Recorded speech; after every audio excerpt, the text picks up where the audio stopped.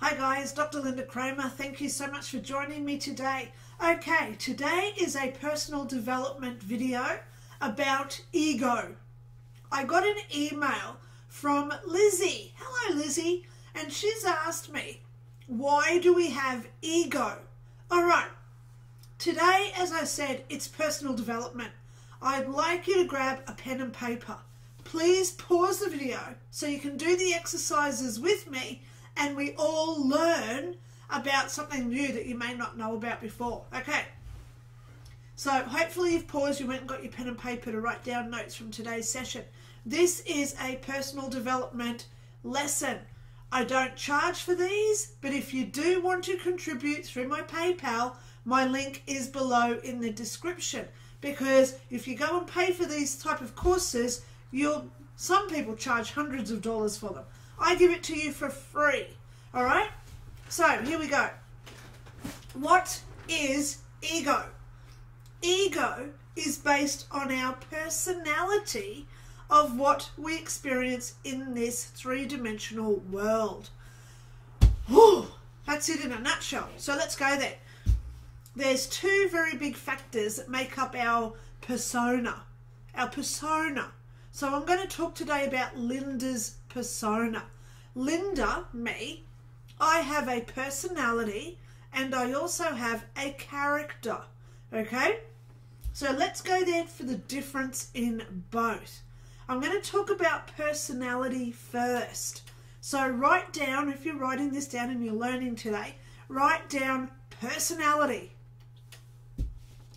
A personality is something that we obtain which is adaptable to this three dimensional world that we exist in. Wow.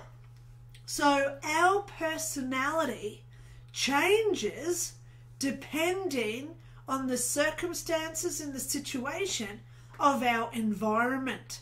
So our environment influences and it conditions us to how we represent our persona in society. That's a personality. That's why when you go for a job, they look for personality traits. They look for personality attributes. They make you do personality tests because a personality is who we are on the external. Personality is all those things associated to our ego. Right, let's go there. Let's have a look at some of those traits. Now, there's five big traits of personality that we're going to discuss here first. Openness, which is our willingness to try new things. So an employer will look at that to see how open you are to learning new training or to be adaptable in that work environment that you're now starting to work in. Conscientiousness, this is the desire to be diligent and careful.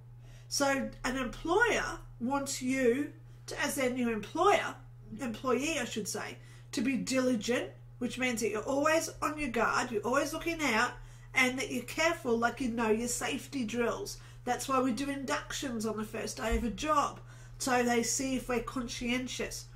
Next one is our extrovert. I'm going to say it right. Extroversion. Extro means external. So they're looking for our external ego, which is our emotions, because our emotions are our ego. And I'm going to go into that soon too. They look to see if we're energetic. They look to see if we're outgoing and confident. They're looking to see if we're going to fit in with other people that we work with in that environment. Okay? So that's the first three openness, conscientiousness, and extroversion. The next one is agreeableness. Are we going to be able to agree and get on with others in the workplace? Okay, so I, I went for a job interview once, and the lady said, We want you to fit our hand like a glove. And at the moment, Lynda, your hand is sort of just off a little bit. It's not like a glove. So, what can we do today to tweak you so you're like a glove on my hand? I'll never forget that job interview. I knew straight away then they wanted me to change, which is adaptableness, okay, and agreeableness. So then I would be conscientious to be diligent and safe to whatever it was that they wanted me to learn in that new job. Did I actually want to work there? No. Okay. So, anyway, that's just personal. So, agreeableness is the next one. The next one is neuroticism. Neuroticism. Neuro, brain, okay? How inclined someone is to be negative and have negative emotions. Wow. So they want to see if you're going to be neurotic. So that's the five basic personality traits. Employers look for these contributes or attributes, should I say. They look for this because personality, remember, personality, which is our ego, is derived, it's created by the social influences and conditioning of society. So, in other words, our ego is only a reflection of the materialistic world we live in. That's our ego. Okay? Ego is our emotions that we attach to all the stuff that we see in this three dimensional world. So when we're willing to try new things, our emotional side comes in. And that's why we get frustrated. Oh, I can't do it as fast as I want me to do it. So you get frustrated. We learn how to hate. We learn how to put other people down and compete. Tell me a sport that makes money where it's only one person doing it. Oh, wait. And let's start the cricket noise. There is not one sport where someone gets paid for competing against themselves. Do you ever see a gold medal for solitaire? No. Because society always wants us to compete. That's why there's always two sides in sport. That's why there's always two sides in an election. That's why there's always two sides of go and ask your father or go and ask your mother to get different opinions. Okay? Society creates this in our three dimensional world. Okay? So, emotions are only based on our ego. Once we stop our emotions, now let me just go there. Okay? Ego is, I'm sorry, emotions are only a reflection of what this three dimensional world does to us. I hope you just heard that. Emotions are only a reflection. It means that we mirror, we are responding or reacting to other situations out of our control that happen in society. Look at how many people are getting emotionally attached to the wars. Look how many people now are getting emotionally attached to celebrities, sports stars, and TV reality shows. Look how many people now are getting emotionally attached to their technology. How many kids these days are glued to their phones and then you hear them laughing because they're watching some crazy video, like a cat video. so they're giving an emotion of happiness when they're watching an external source. Technology, which is ego. Okay? Ego. So it's all attached to what it is that we feel and what we experience in this three dimensional world. So, we are not born with emotions. Huh? That's true. No baby ever is born with emotions. We obtain them from the situation, the environment, and we are reacting to what we see the first moment we open our eyes when we're born, or from what we've already been hearing inside the womb.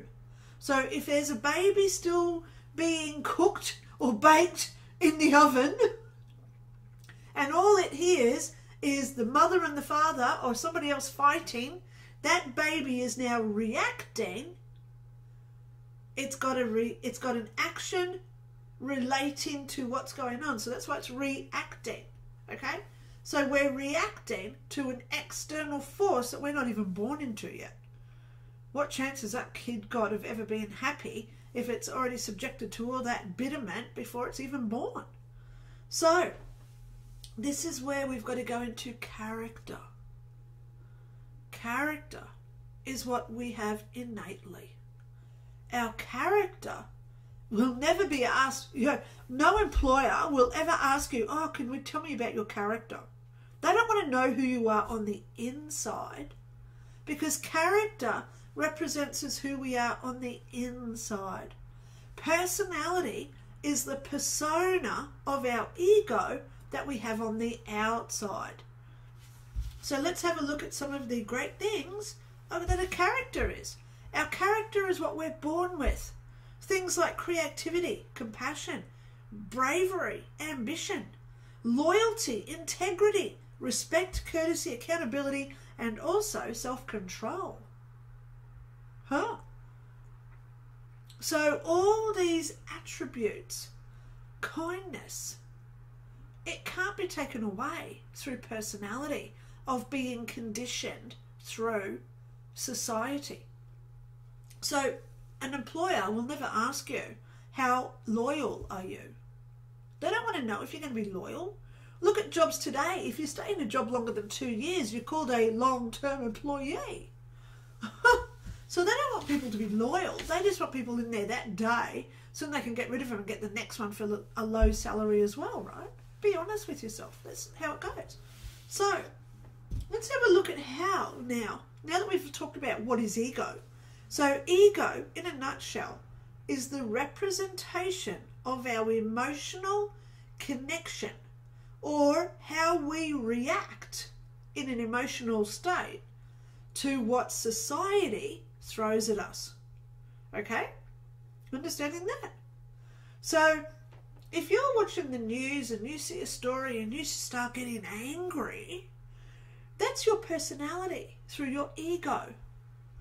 But if you go outside and you say, stuff this, I'm not going to get involved with this, and I'm going to look inside me at my character, I'm going to look inside me and look at my kindness that I was born with.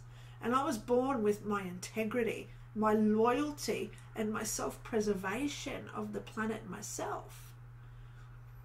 This external world can't do anything about that because they don't know how to deal with it because it's different personality characteristics, right? So let's have a look at what happens now when we let go of ego. What happens when we let go of this emotional three dimensional world? Now, I'm going to go there. I try and let go of my ego as much as I can. I only get dressed up if I've got to go outside because that's me respecting other people that I see. They don't want to see me in my pajamas walking through the shopping centre or else I would do that. But it shows that I respect other people. And that's on the list of being a character, looking out for other people, right? So I take out my bins religiously, take out the trash, because I have that self gratifying, um, hygienic approval of myself. So I don't sit in squalor. So that's why I respect myself, I respect my health when I take out my bins, yeah? Which is character. So, what happens when we let go of that ego and we start looking at all our characteristics instead of what society wants to, us to look at as personality? So, when we let go of our ego, I'll tell you some of the things that start happening. We start taking personality, and we take. We, let's start again. We start taking responsibility we take out the trash. We get dressed nicely just for us. We start looking after us and other people. We start being compassionate. We start being kinder. We start being focused on what truly matters within us, within. And it's when we look at what we put into our lives and what we put into our body and what we put into our knowledge. So we're learning. And we don't concentrate on what we're getting out of it. We're not looking at the reward. We only just concentrate on what's being put in. So instead of that certificate at the end, we look at all that knowledge doing that course. Okay? So we focus on what's now. And we be kind, as I just said. Kindness to not just ourselves, but to others. And this is how we build our own compassion and respect of all things on this planet. When we're kind to someone, we're showing them that we are also kind to ourselves. So be kind. Never speak badly about yourself. You know how sometimes you just say, oh, geez, I'm such a doofus? Or, oh, look at Lynda today, she's such an idiot. Stop saying that about yourself. Because when you start putting yourself down, that's what society wants you to do. That's ego. That's where narcissism comes in, right? Because we're, we're putting other people down. So stop doing it. Only talk about yourself in a good light. You know, like I did a video the other day where I went down in my tree. It's called the the, um, the Hope Tree video. And while I'm going down there, I said, "Oh, look at the big grey streak I've coming in." I wasn't being nasty to myself. I'm actually proud that I'm now of an age where I'm getting grey hair. Oh my God, I was told I would never see 10. When I was a kid, the doctors told my parents I would never reach 10. And now look at me, I'm coming into grey hair. So I'm going to acknowledge this and respect it and love it because I've outwitted, outplayed, and outmaneuvered everybody who told me I would fail. That conditioning from doctors, specialists, and other professionals, where they were virtually talking me into never growing up, never worked. Because my character has always overbeared my personality. Okay? So never speak badly about yourself or other people because what we say, our body remembers and it creates it. So if you say to yourself, oh, look at that idiot over there who's speeding down the street, I hope he has a car accident. You're putting out all this negativity, creating someone else's hurt, and karma comes back and bites you, so then you get all that pain. So I would never say, I hope I hope that person gets where they're going safely. That's what I say. I hope he gets past wherever he's speeding. That's what I say. Try to, anyway. Be humbled. I was just humbled then, right? When I said I try. Huh. So never think that you know everything about everybody. Nobody knows everything, or else we wouldn't be here, we'd be the supercomputer. So always be humbled and and admit when you make mistakes. Admit when you're at fault. Admit when you think somebody else could be even better than you. Life is not a competition. And that's just personality of ego that wants us to compete. Now, isn't it funny? Now, I'm just going to say some things here Ukraine and Russia. There's two. Now we've got Hamas and the Middle East. That's two. So they always pit one against another. There's never three, four, six, eight, or twelve. They never say things like, oh my God, China, America, Australia, New Zealand, Antarctica, Madagascar are all going at it. Why is it always just two? Whenever we go to an election, do you notice how it's always red and blue? Here in Australia, we have blue, which is Liberal, red is Labor. In America, blue is Democrat and red is Republican. So, why do we always have two? Why do they want to instill in us, condition us, where it's either right or wrong? See what I mean? So we've got to get this mindset out. And that's why we never say you are wrong, because no one is ever wrong. There's always versions of the reality where what they're saying could be correct. Okay? So be humbled and don't always expect to think that you know everything about everyone. Okay? Next on the list is to let go. Oh, how many videos have I done where I say, let it go, release, stop thinking about it? Universal love comes to us when we say, I don't get emotionally attached to what you're doing.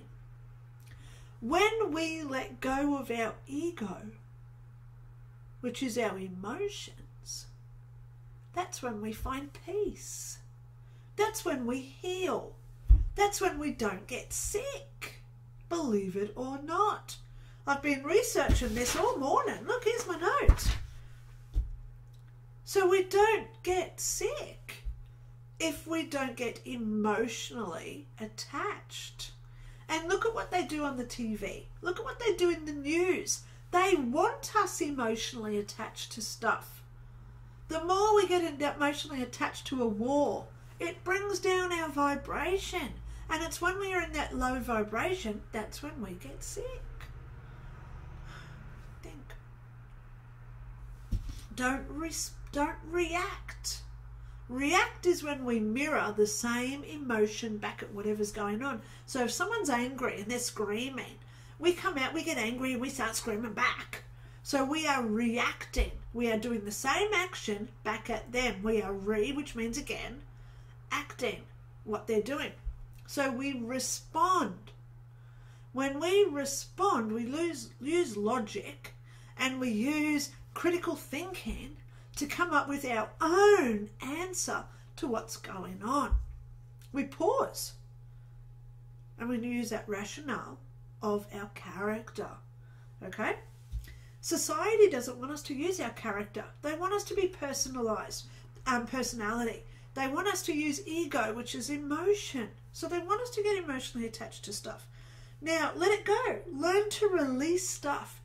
Stop thinking about it and stop getting emotional about it because emotion equals ego. E E E. Emotion equals ego. I can't stress this enough today. Now, the last one I've got on here is confidence. Now, look at what I said before about personality. Personality is our confidence when we show extroversion. Okay? But wait, let's look at confidence. How do we gain confidence?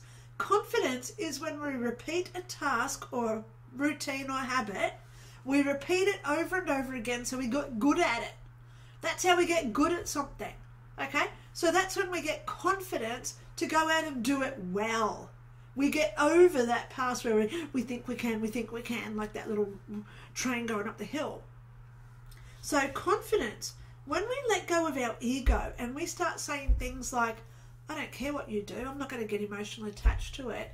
I don't care what you do, and I hope you wish I wish you well. And please know I do love you. Wow. When we do that more and more and more? I don't care what they're doing in the Middle East right now because I'm not going to get emotionally attached to it, so I'm not going to care. I wish them well. I hope it turns out well, but I don't need to get emotionally attached to it through my ego. Huh. So the more we do that, the more we get confident at being, oh, are you ready, ready for it? spiritual growth. now it's in the title of this video. Ego, is it spiritual growth or materialistic gain? That's right, because ego is materialistic gain. But when we let go of wanting the best TV, when we let go of, oh my God, they've got the new dishwasher, I need to get one of those too. When we let go of fashion trends, and we think, I don't care if they're all wearing black today. I'm going out there in my best red outfit ever.